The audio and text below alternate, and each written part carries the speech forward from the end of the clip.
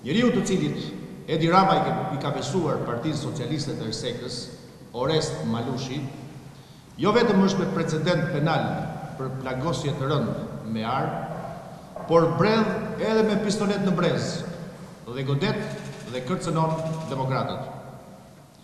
Ky drejtues socialist i Edi Ramës, në shoqërinë e kreut të Partisë Socialiste të Leskovikut, Sergej Peshtani, dhe drejtorit të Ujësjellësit, Robert Hamzaj, ka qëlluar me armë drejt anëtarit të Partisë Demokratike, Zyliftar Byreku, në një lokal në Shelegur.